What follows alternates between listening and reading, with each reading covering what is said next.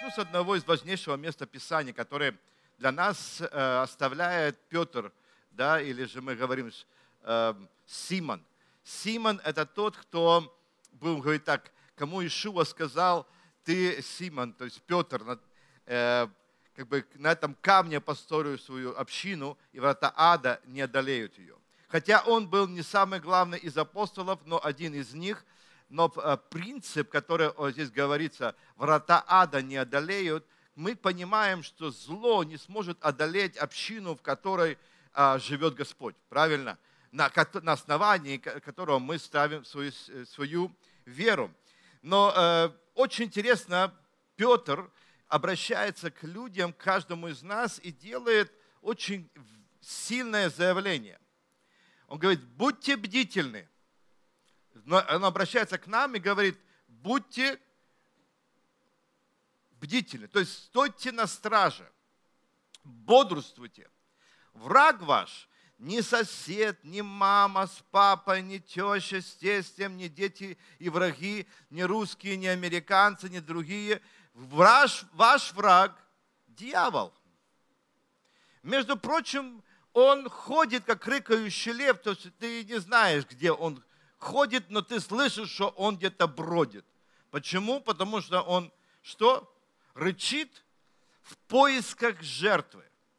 Другими словами, поиск жертвы – это то, чаще всего не самое здоровое, э, как бы сказать, эм, ну, нет, нет, не самая здоровая э, жертва в стадии, куда он нападает. Чаще всего то, что слабое, то, что подвергнуто, наверное, увечью, что быстро не бегает, что может догнать. То есть он ищет то, того, кто послабее, чтобы его поглотить.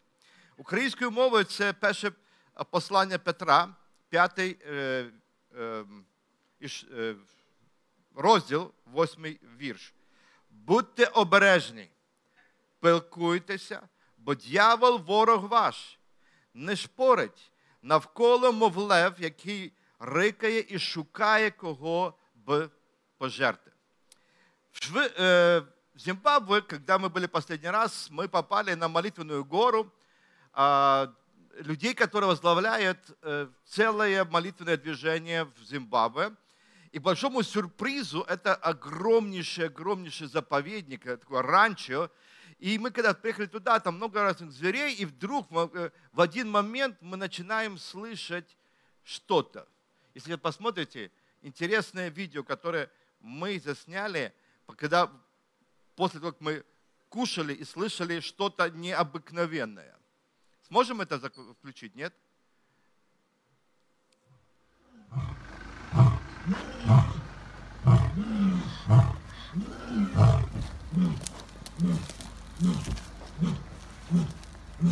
Hello, my friend. Are you alright? Beautiful.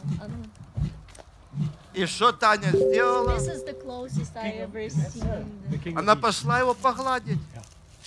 На втором видео. Да, да, да. Знаете, не страшно, пока он тебе не посмотрит в глаза. Вот. Look. Гладим, гладим, кошка такая. The line. И ты понимаешь, что там страх всего, все- всех джунглей. А?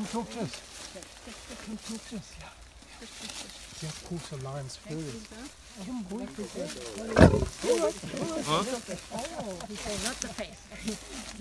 oh, not the face. Don't touch my face. Yeah. It's All right. Come, it's your eyes. Я думаю, что это достаточно.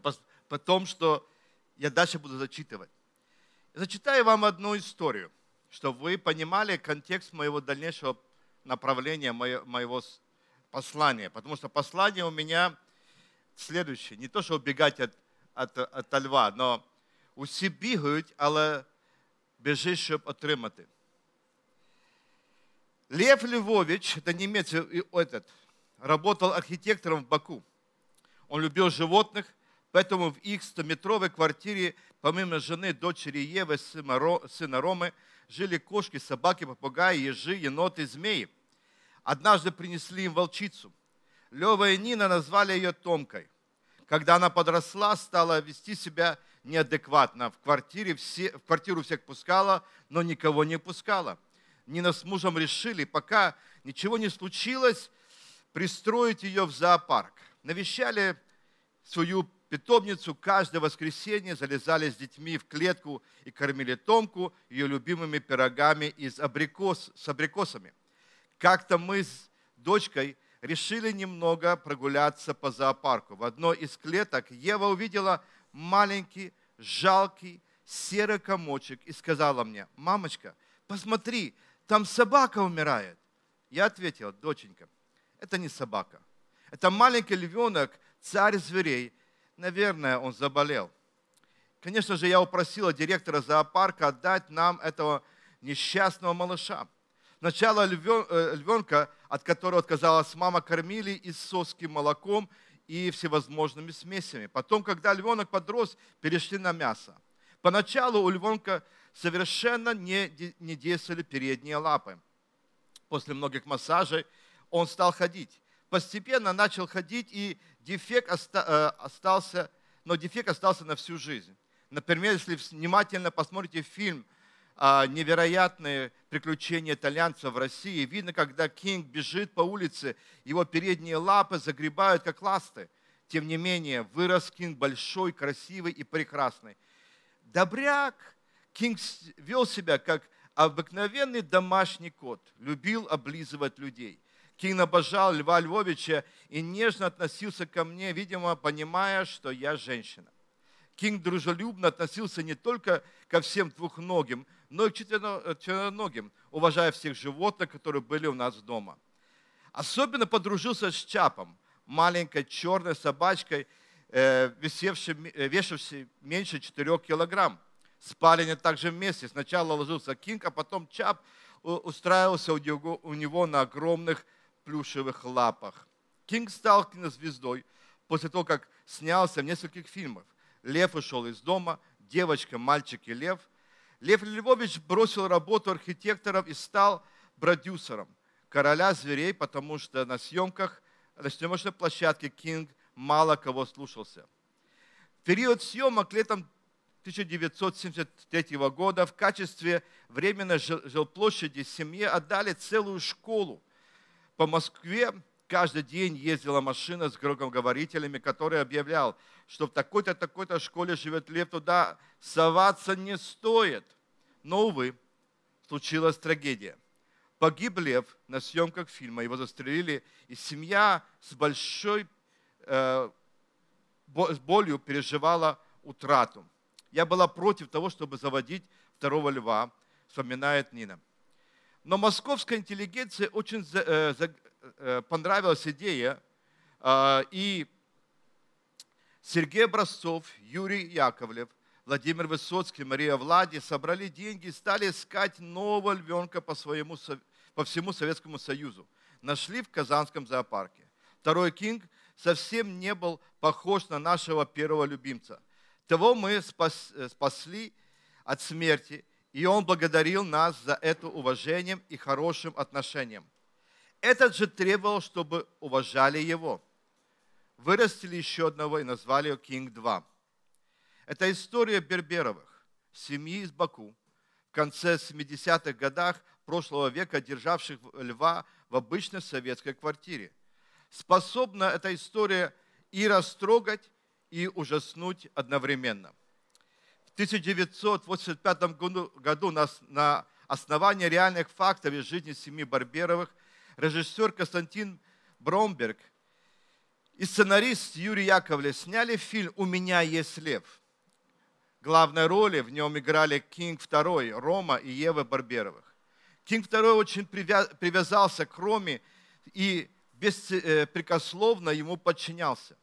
Мальчик ездил на льве верхом, как на коне, но то, что позволительно Роме, не позволительно другим участникам киногруппы.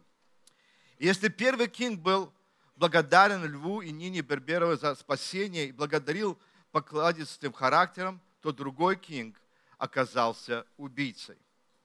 Он отправил в больницу хозяйки и убил ее первенца, 14-летнего мальчика Рому, которому он позволял ездить на спине и много другое, другие, прока, э, э, другие проказы. Эта история, конечно же, когда я говорил, должна была, знаете, вот, быть счастливым концом. Должна была быть для нас таким чувством, что все хорошо, все классно, что животные могут э, э, жить в одной квартире с э, людьми. Что мир, в котором жил Адам, можно его превратить и у себя дома. Но Рома Берберов надеялся и не сомневался в подчинении Кинга. Он не сомневался в нежности и ласковом поведении своего питомца. Но нежное создание, воспитанное Ромой, забрало его жизнь. Что я хочу этим сказать? Что в этой истории очень трогательно для меня? То, что в этом зале среди нас мы влюбленные в Иешуа Мессию, в того, кто, кого мы превозносим, обожаем, лев из колена Иудина, тот, кто трости надломленной не преломит, льня курящего не угасит, тот, кто является другом грешников, страдающий, да, Мессия, любящий, сострадающий больным и сиротам, тот, кто не покидает нас и не оставит, как нежно кормилица печется о своих детях, детях, мы чувствуем себя, что мы можем, как Рома, кататься на его спине, не предполагая, что он когда-то либо что-то может сделать. Мы так, мы так научены. Мы так себя ведем мы можем хладнокровно, не предлагая каких-то э, мыслей, что Иисус ничего, э, э, ну как бы, Он должен исполнять все наши э, желания. На, на, на, на, наши, как бы, как бы, вот, мы берем кошку, да, мы ее типа, а, такой хорошенький, затушил бы сейчас. Да, такой. Мы не предполагаем, что есть обратная реакция. И фактически я думаю, что мы с вами иногда не представляем его как могучую силу, которая воссел на престоле своего предназначения в центре ужаса, страха и наказания. Что он является судьей праведным, в руке которого ключи ада и смерти.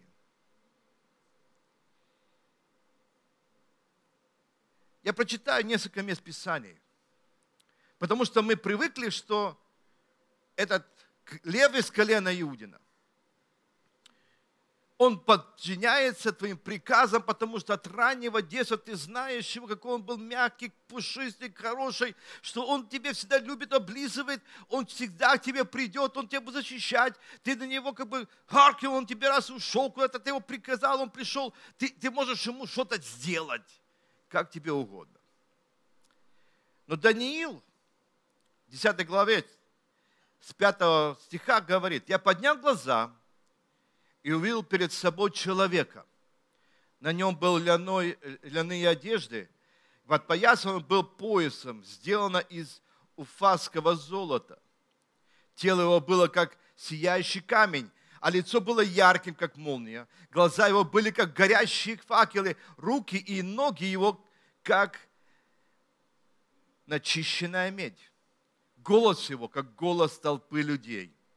Я, Даниил, был единственным, кто видел это видение. Люди, бывшие со мной, его не видели, но все же испугались. Они были как так напуганы, что бросились бежать и спрятались. Я остался один, наблюдая это видение. От страха силы оставили меня. Лицо мое побледнело, как у мертвеца, и я был беспомощен. Я услышал, как заговорил тот человек из видения, услышав ее, я пал на глуб... в глубокий сон, лежа лицом на земле. Затем рука коснулась меня, и я встал на колени, опираясь на руки.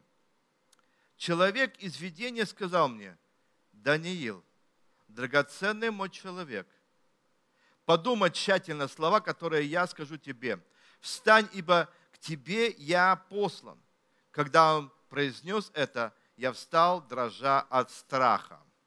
Вы скажете, хорошо, это все-таки э, Старый Завет, это Танах, и как бы каким-то образом мы не знаем, это Ишуа, не Ишуа, это человек, это ангел, кто это был. Но смотрите, Иоанн, который является свидетелем эм, вот Божьей славы, переживший прикосновение Ишуа, непосредственно был участником, когда видел его, что распинали, он говорит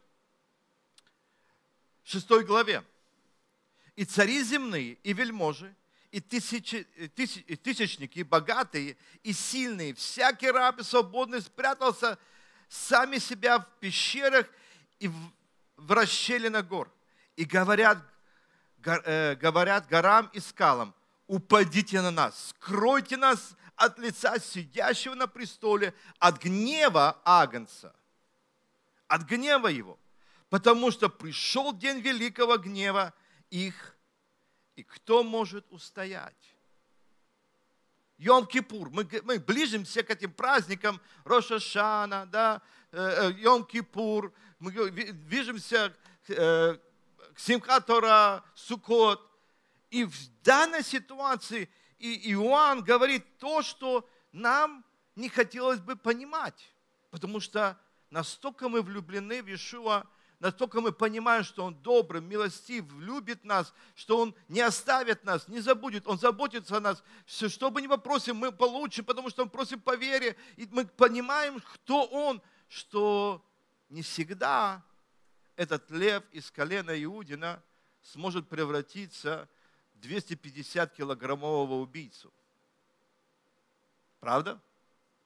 Смотрите, Иоанн 1 э, глава 12 стих говорит, «И я обернулся, чтобы увидеть голос, говорящий со мной. И обернувшись, увидел семь золотых светильников, и посреди светильников, то есть минор, подобно сыну человека, одетого в падир, опоясанного по грудь поясом золотым голова его же и волосы были белы, как шерсть белая, как снег, глаза его, как пламя огня, и ноги его подобны чистым э, чистой меди, как будто из печи раскаленной, и голос его, как голос вод многих.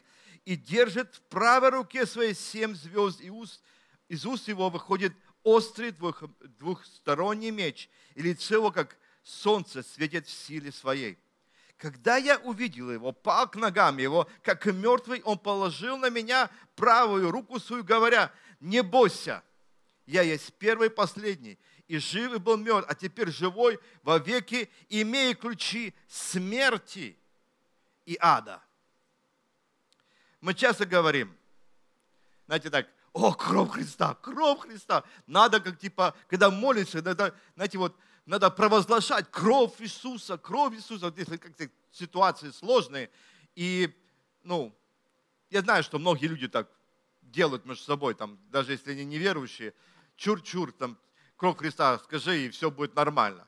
Дайте мне вам объяснить, почему, причина, причина, по какой мы будучи омыты кровью Ишуа Мессию, имея эту привилегию. Почему нам нужна именно, именно покрытие?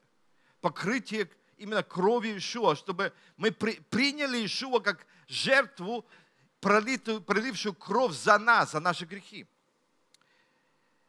По причине того, что перед Богом ничего нечистое не может быть, Ничего нечисто перед его лицом не может стоять. И мы знаем из Писания, что говорят, свят, свят Господь Саваоф. И ничего нечисто не может прийти. По этой причине, по этой причине, слава Божья разрушает все нечистое. Даже, даже Моисею говорит, ты, ты не можешь увидеть меня и остаться жив моя слава недоступна тебе. То есть моя слава тебя же уничтожит, потому что ты нечист. Наша праведность, если мы помните, как запачканная одежда, мы никак не сможем устоять в день праведного суда перед нашим Творцом, Творцом Вселенной. По этой причине нам необходимо иметь свидетельство Иешуа. а именно Его кровь, которая стала ходатаем перед Всевышним, она ходатайствует сильнее, чем кровь А- Авеля, становится нашим принятием. Нам нужна кровь Агнца Божия для того, чтобы слава Господня не уничтожила нас. Через пролитие крови Он принял гнев Божий, давая нам предстать перед Богом не со своей праведностью, но с Его праведностью, чтобы разделить славу Божью вместе с нами в радости, а не в справедливом суде. Что именно происходит? Можно только пред- предполагать из Писания. Мы на прошлой неделе имели водное погружение в Черноморске, а позапрошлое и э, в Одессе. Что происходит? Ты погружаешь человека греховного, а встает человек освященный, искупленный. Грехи там остаются, ты становишься другим. Мы называем это обменом. Мессия обменял твой и мой грех на свою праведность. Эта праведность, обогренная кровью, позволяет нам стоять во время великого суда на Йом-Кипур, где Божья слава нас не разрушит, а вовлечет в Божье присутствие и вечно там будем. Сегодня я затрону послание к евреям, 12 главу. Послание к евреям – это к тем, кто, может быть, сегодня здесь, смотрит нас по телевизору, тем, кто читали ее. Мы не знаем автора, многие говорят, это Павел, Рав Шаул, но по стилистике больше похоже на Луку, и при этом обращение к левитам, которые потеряли какую-то надежду после того, как а, фактически а, жертва Ишуа была достаточно покрыть все грехи. Они не знали, что делать с, с этой ситуацией. Я хочу поговорить именно в 12 главе, показать вам откровение той ответственности параллельно с, с страхом и любовью Божьей. Показать и смиренного, любящего льва, и того, кто может одним ударом рушить твою жизнь. Давайте зачитаем 12 глава, с 1-2 стих. Посему мы, имея вокруг себя такое облако свидетелей, свергнем в себя всякое бремя, запятнающее наш грех, и с терпением будем проходить предлежащее нам поприще. Взирая на начальника совершителя веры Ишуа, который вместо предлежащей ему радости претерпел крест, пренебрегший посрамление и воссел одесную престола Божьего. Мы должны понять, что он уже там. Да, он не суси пуси, там ты такой хороший, я тебя люблю. Он уже там, как судья праведный. И ожидаем ему его пришествия не как уже страдающий Мессии, а судья праведного, который будет судить все наши дела. Да, будем говорить так напрямую. Я еще один э, почитаю, еще два, э, фактически два перевода. Один еще российский, а другой еще э, украинскую. А, за, а, а раз у нас такая тьма свидетелей, то давайте скинем с себя всякий груз и опутывающий нас грех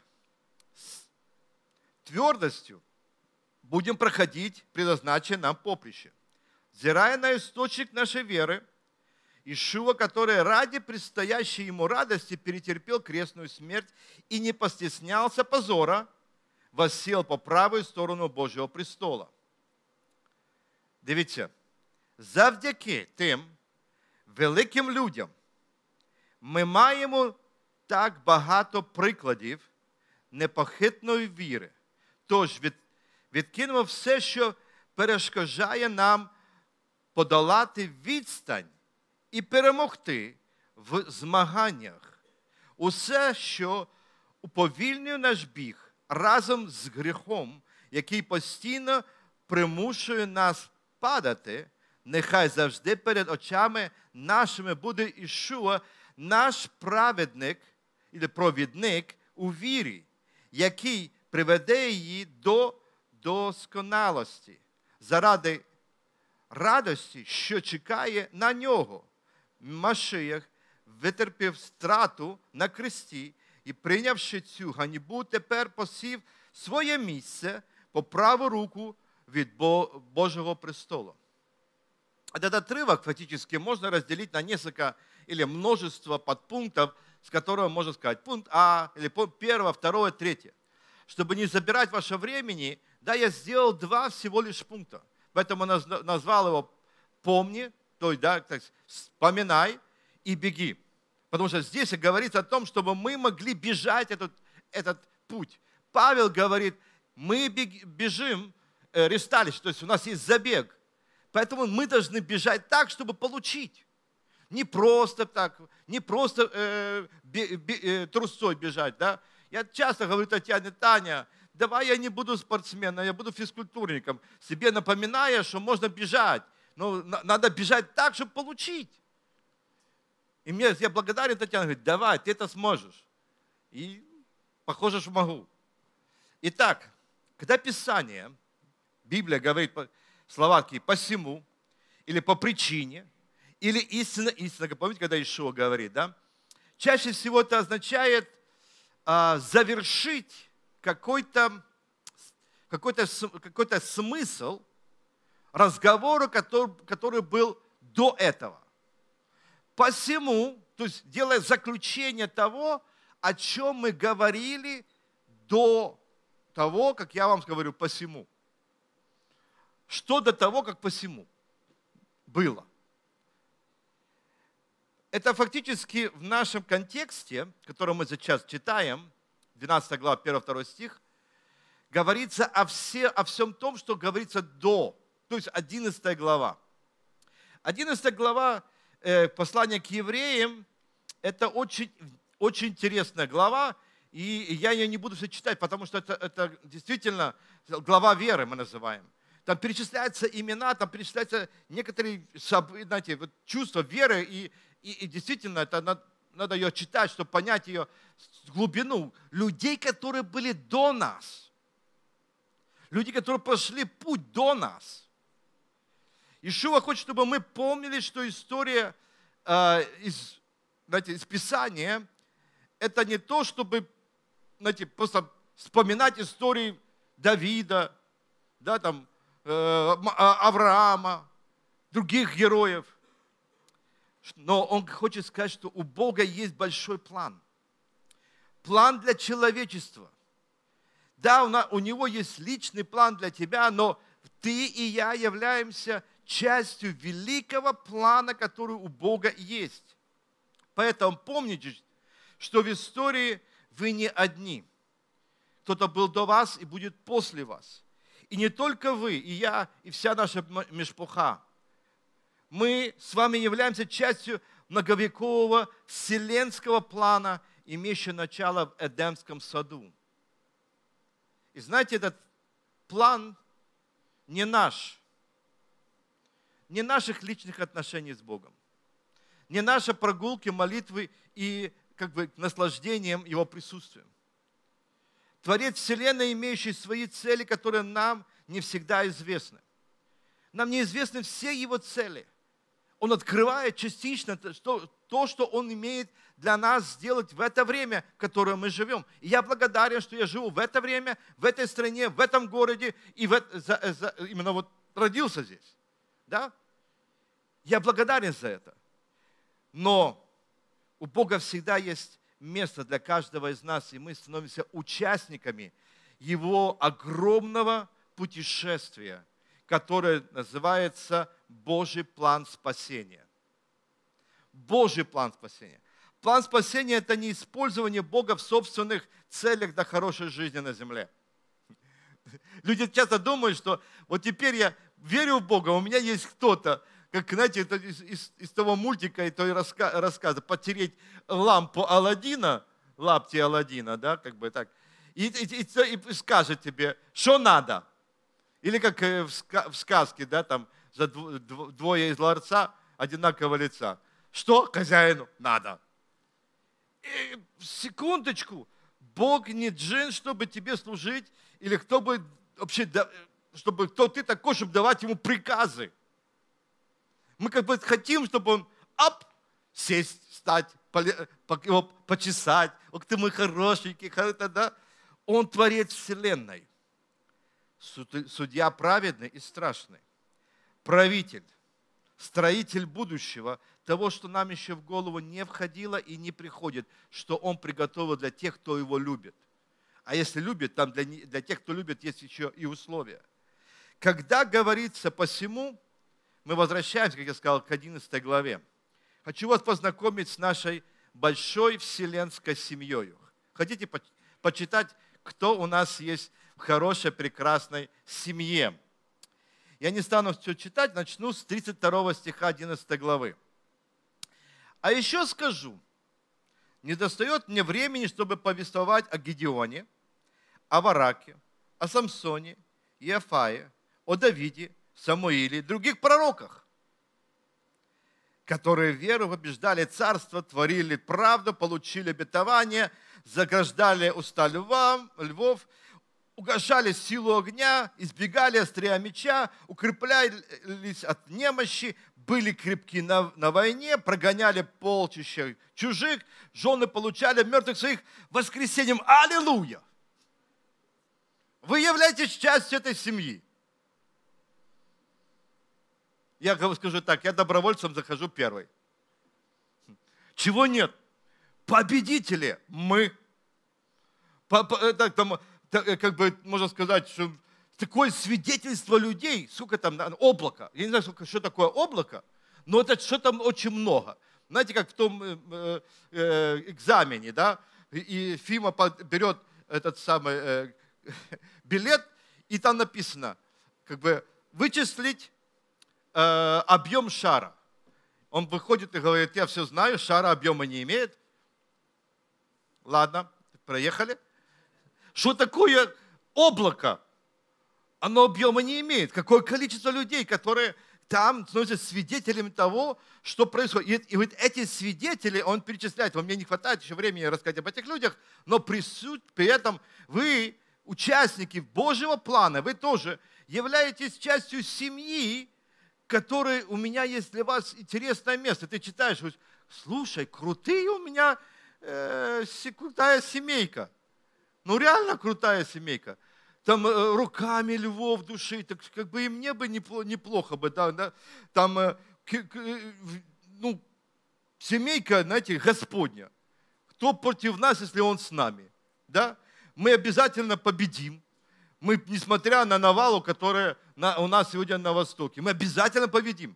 Если с нами Бог, кто может быть против, правда? Если мы чит- читаем это Писание, тех, кто в этом большом облаке, мы на самом деле, я когда смотрю это, в этой толпе, запишите меня добровольцем, я хочу быть частью этой великой-великой армии Господней. Навалу войска мы отобьем, и если что-то, кого-то потеряем по дороге, мертвые получим, получим живыми, воскресение из мертвых, почему бы и нет? Классная семейка, да? Да, разбиваем царство, или же не до царства, или же не до империи, развалим да, ее. Хромые побегут, слепые прозрят, что они натворили, получим репарации. Ну, я скажу, давайте пишите меня первым в этот список. Классно, правда? Быть победителем. Быть тем, кто получает то, чего ты хочешь. Но текст продолжается. Читать? Иные же замучены были, а не приняв освобождение, дабы получить лучшее воскресенье. Другие испытали поругание и побои, а также узы и темницу. Были побиваемы камнями, перепилимы на двое, подвер- подвергнуты пыткам, умирали от меча, скитались в милотях и козьих кожах, терпя недостаток, скорби, озлобление людей, тех, которые мир недостоин, скитались в пустынях и горам по пещерам и ущельям земли. И когда ты понимаешь, что эту семейку, которая настолько разношерстная, из победителей кто-то кто наказуем. Те, кто поражали врага, становились убиенные, страдающие. Вера, в которой мы находимся, не зависит от исхода ситуации, в которой мы живем. И это вот по местописанию показывает нам, что вера не зависит от исхода той жизни, которой эти герои жили. Успех или провал нашего упования невозможно продиктовать нашими желаниями Богу. Никто из нас, читая вторую половину отрывка этого, не хочет стать волонтером. Я не хочу. Честно, я, я не хочу. Вот не хочу, чтобы меня распиливали тихо и спокойно. Ведь это же больно, по крайней мере. Я не хочу ходить в козьих в шкурах, где-то на пересыпе или же жить в канавах. Ну не хочется добровольно, вот так сказать, да, я верю, и теперь я беру добровольно вот это поругание, буду идиотом посреди нормальных людей. У нас же наоборот же. Мы победители, мы успешны, мы процветающие. У нас есть Бог, которого у вас нету. Он о нас заботится, одевается, обжает и так далее. Что мы и вдруг понимаешь, что вторая половина это же, это же семьи, в которую мы вовлечены по великому Божьему плану, которого иногда мы не знаем, вдруг мы оказываемся в этой стороне, и мы не очень желаем увидеть мир таким образом. Успех или провал нашего представления веры в Бога не зависит от нашего желания. Иногда мы получаем то, что мы хотим. Ну, и, и переживаем то, что мы можем пережить от Бога. Но не всегда так будет, помните? И не будет так всегда. Честно говоря, вот смотря через Писание, всегда было так. Мы не можем ему сказать, как мы хотим прожить свою жизнь. Все хотят жить хорошо. А хорошо жить, что? Не запретишь. И что мы иногда делаем? Мы впрыскиваем в жизнь верующего человека некие такие надежды процветания. Процветание, что все будет нормально. И нормально, послушайте, нормально. Мы же голова, не хвост, правда? Да. Мы больше, чем победители, конечно. Мы, побе... мы знаете, вот, побежим и не устанем, получим свое исцеление, победили лукавого своим исповеданием. Да? Да, но не всегда наша вера в то, что мы хотим ожидать от Бога, заканчивается триумфом. Потому что иногда мы не знаем весь план, который Он нас втянул. Так в чем же мы можем быть уверены? Мы можем уверены быть только в одном. Несмотря на тот успех или провал, в который мы попадаем в нашей жизни, мы можем быть уверены сто процентов, что Бог верен. Я хочу сказать, он верен. Саша верен? Бог верен. Что бы ни происходило, Бог верен. То ли ты успешен, то ли ты не очень. Может быть, ситуация находишься, Бог всегда верен в различных обстоятельствах и страданиях. Даже если это выглядит полностью кошмаром твоей веры, провалом твоей веры, знай, что есть победа в конце туннеля – есть эта победа. Можно проиграть сражение, но выиграть войну. Помните, вы и я часть облака свидетелей из разных колен, языков, народов и племен. Это облако верующих людей, которые знали своего Бога. Знаем ли мы Его так? Могу также сказать, что независимо от исхода моей жизни на земле, то ли это Мессия вернется раньше времени, то ли я увижу, засну и увижу его открытыми глазами, сказать, просыпайся, ты дома. Могу точно сказать, что он является основателем моей веры. Моей веры. И мы должны держаться той веры, которая нам сегодня дана. Я в одно скажу. Идея спасения, или же не было твоей или моей, мы не смогли бы спастись нашей верой. Да еще что-то будет за вера. Я вам скажу одну вещь интересную, что он стал автором, он создал эту, ну сказать, этот путь спасения для тебя и для меня. Не ты создал, не ты захотел, надоело тебе ходить где-то по, по улицам, знаете, красных фонарей, или же ситуации, в которой ты находишься, и решил, а, а вот теперь пойду направо, налево, а там у меня будет стоп, и там я могу покаяться. Это не тот путь твой спасения. Он является спасителем. Вы не смогли бы спасти себя от гнева Божьего. Абсолютно. Помните, я сказал, кровь нужна для того, чтобы эта кровь могла принять ту славу, которая ну, вот, тебя могла бы уничтожить.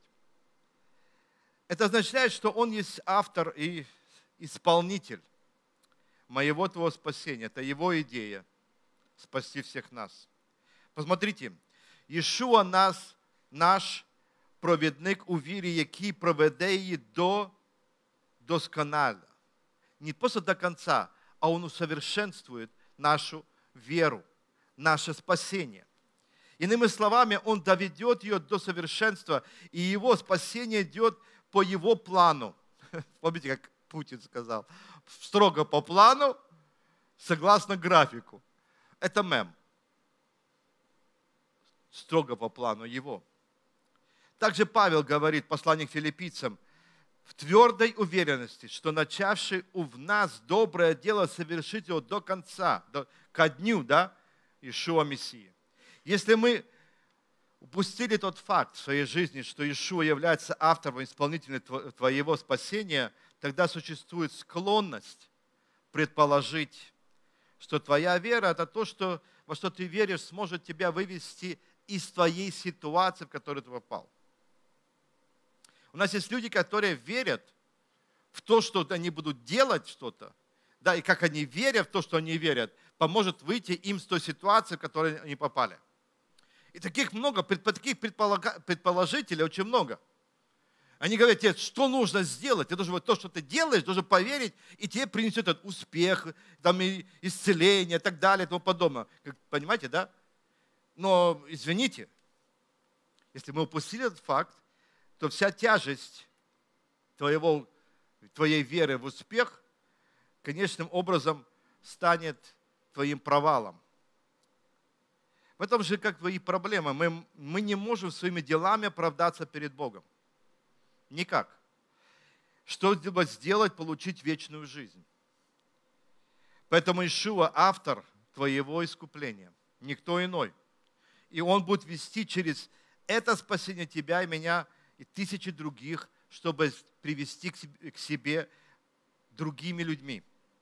Сила нашего с вами веры не веря в то, что мы верим, но в объекте нашей веры.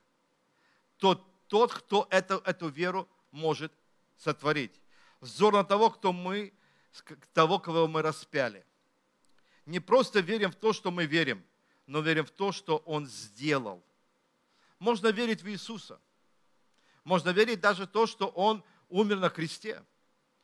Но сомневаться в том, что Он воскрес из мертвых, и тебя, и меня Он оправдал посредством своей крови. Однажды Он вошел в одесную да, Отца за, за, за э, э, завесу и оправдал, омыл нас. Если мы в это не верим, в объект, то есть то, кто это сделал, мы надеемся только на то, что мы верим, и что каким-то образом на небо попадем. По этой причине автор послания к евреям говорит, не забудьте того, кто является автором и совершителем вашей веры, кто становится источником вашей веры. Не забывайте Иешуа, и только Он является этим источником. Если мы пытаемся ценить свои победы или провалы через призму собственной веры, которая всего лишь является силой, можно сказать, силой воли. Другими словами, есть моменты в нашей жизни, где мы приходим к Богу, возможно, не один раз. Вы видели, когда люди перепосвящали свою жизнь Богу. Чаще всего это было на каких-то движниках, да, таких прославления, либо какой-то ретрит, либо какая-то конференция, или какие-то такие события, где люди попадали туда и говорили, Господь, все, я оставляю свой грех, я, я, я все сделаю необходимое, чтобы вернуться обратно в общину, в церковь, я возвращаюсь, я буду служить Тебе. И мы начинаем говорить, о, Господь, спасибо, я победил, спасибо за, за то, что Ты сделал. Дайте ему 48 часов. Две недели – и вот то, что ты верил, что ты победитель, становится твоим поражением. А если мы говорим о том, кто эту победу совершил, кто дал тебе эту победу, в ком есть этот источник, тогда ты полагаешься на Него, который с тобой будет общаться и тебе будет говорить. Это нас приводит ко второй, второй части, я попытаюсь побыстрее это сделать. А, это пройти поприще мы, в, в, в русском переводе это пройти попище. Українською мовою это пробігти дистанцию. Пробежать эту дистанцию, которая дана нам Богом. Любопытные, знаете, вот э, стрижки, которые делает автор послания, и он как бы делает некоторый такой э, э, разбор этой, этой ситуации. На, он аккуратно пишет, что жизненные проблемы – которые нас отягощают, нужно свергнуть. То есть свергнем в себя всякое бремя и запинающий нас грех. Вы знаете, он разделяет очень интересный момент. Мы почему-то так говорим, что у нас э, э, э, снять с себя э, бремя. Тож, я українською мовою читаю, тож відкинемо все, що перешкоджує нам подолати відстань і перемогти змаганнях усе, що уповільнює наш біг. Другими словами, это не то, что там, знаете, э, избавиться или там какую-то свергнем. Это не упаковать то, что тебе не нравится и тебе не нужно, положить в, э, в шафу, да, или в шкаф, когда-нибудь воспользоваться. Красиво погладил, сложил. Он говорит, сними себя, стрясни себя, скинь себя. То есть заставь э, себя скинуть все то, что мешает. И между прочим, интересный момент. Он не говорит, что мешает именно это грех. Это моральное какое-то состояние не греховное. Это не грех скинуть себя, а моральное удовлетворение не греховными вещами – было ли у вас такое чувство? Я вам просто дам этот пример, но он такой, его нужно применять вот по, разным причинам. А, вы весьма голодны и не можете дождаться, когда придете домой и скушать то, что, на ваш взгляд, самое вкусное, что, например, это может быть борщ, солянка, не знаю, что у вас там есть, э, э, форшмак, э, там сфаршированная рыба, курочка, там это само, да, ки, э, э, котлета по-киевски. Я, я не знаю, что у вас дома как бы приготовлено, но вы не можете дождаться, и вот э, вы едете с работы, и так и уже предвкушение. М-м, вот такие котлета по-киевски. Я ее нагрею, разрежу, запах. Это потечет масло из картошечкой. Какое! Едете так вот, уже, и тут, да, и тут ваш спутник э, говорит, чипсы хочешь? Тебе полчаса ехать.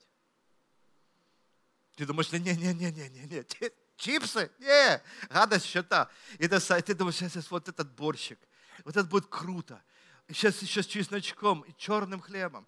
Ох! И такой, он говорит, да ладно, это самое, пока доедем. Открывает такой запах. Это э, чипсов.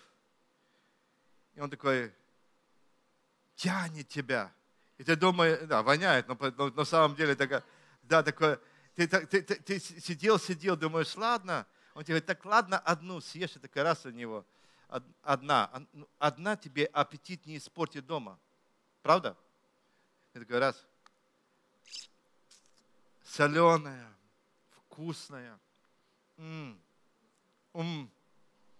Едешь дальше, он тебе еще дает. Думаешь, да ладно, еще дает. Ты уже пока доехал, уже полпачки съел. И приходишь домой, разогреваешь борщ, две ложки, думаешь,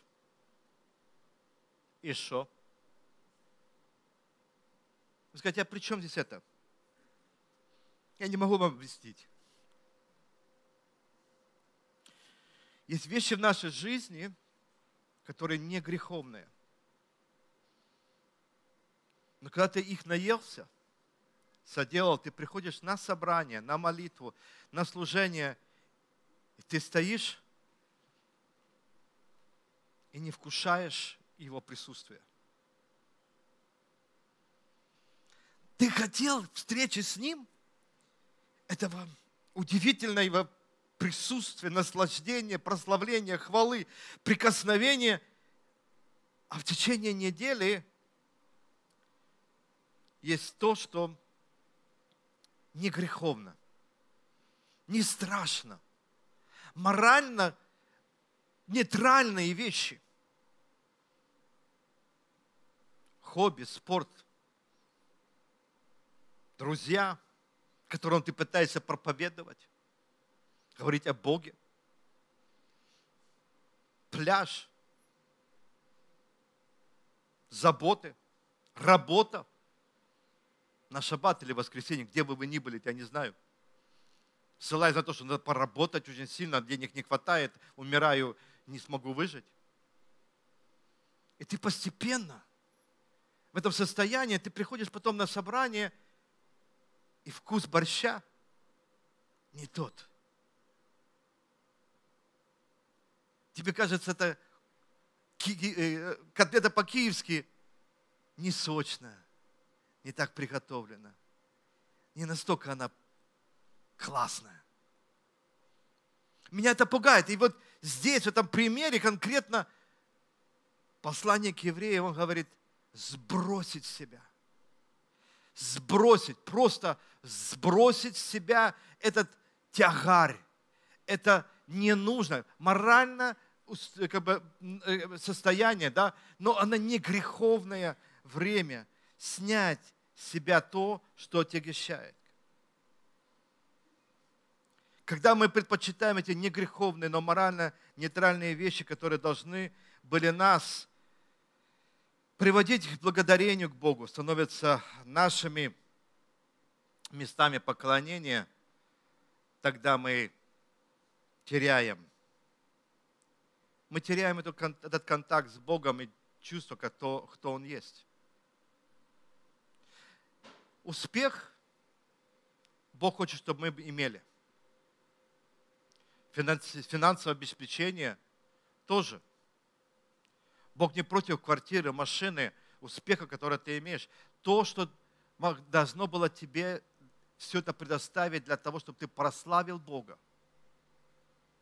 Благодарный был Ему. Воспел Ему. Переживать Его через эти все благословения, которые Он тебе дал. Вместо этого – это мы меняем фокус, и он становится центром нашего достижения. И тогда наши отношения в этой семье, которой мы думаем, что у нас все нормально, становятся холодными.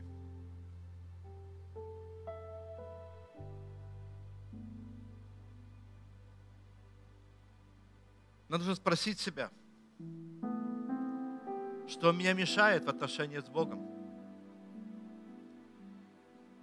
Что тебе горит меня? То есть то, что тяжесть висит на мне. Второе, о чем говорит послание, это действительно о грехе. Грех тормозит наш бег, дает нам возможность упасть. Павел Кремлем говорит нам нечто, что я хочу в контексте прочитать. Как днем будет жить благопристойно, без гулянок, без пьянок, без блуда и возврата, без ссор и зависти. Это послание Римлянам, 13 глава. Но облечься в Господа Ишуа Мессию, помазанника, и заботу о теле не превращать в пристрастие. Забота о теле не превращать в пристрастие. То есть пристрастием может быть любая вещь, которую ты ставишь больше, чем Бога. Павел пытается сказать, не давайте плоти ни пяди а, места. Потому что если вы дадите хотя бы часть этой вашей жизни, вашей плоти, которая противится духу, она поработит вас. Вы станете их, ее плоти, да, рабами. Поэтому я сегодня хочу сказать, смотрите за собой. Смотрите.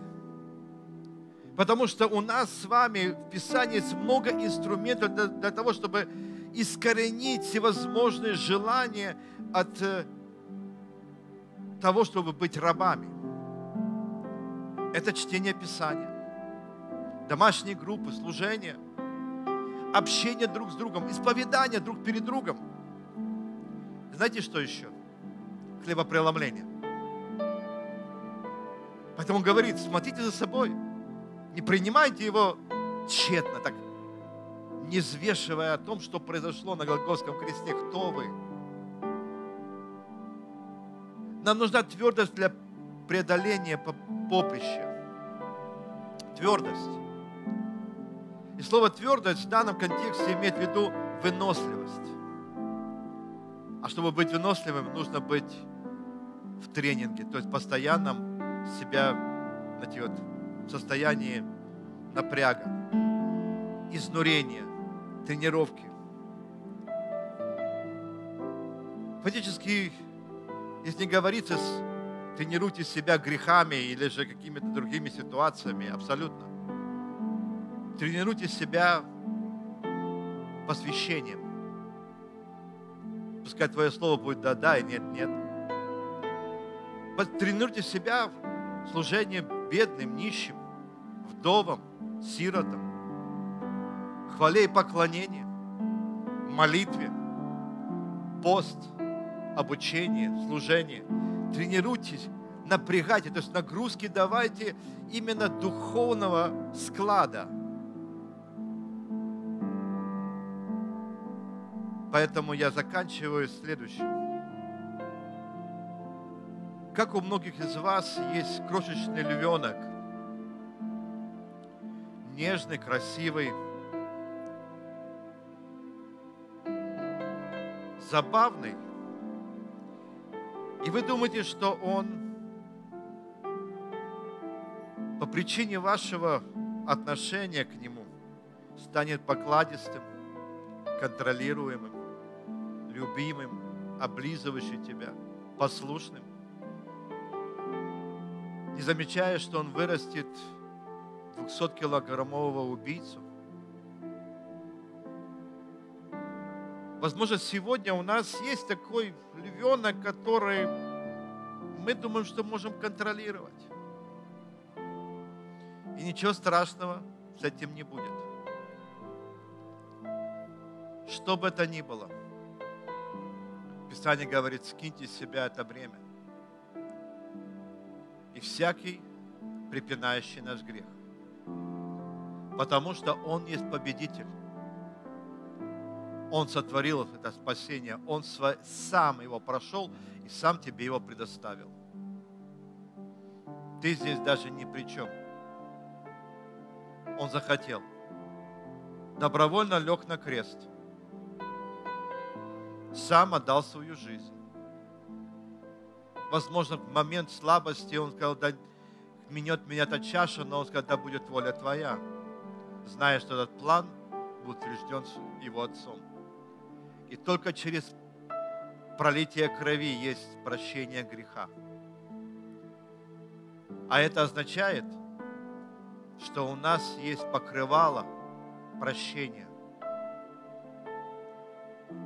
где мы можем спокойно стоять перед Божьей славой, и она нас не поразит, потому что не я живу своей праведности, но праведность Мессии покрыла меня.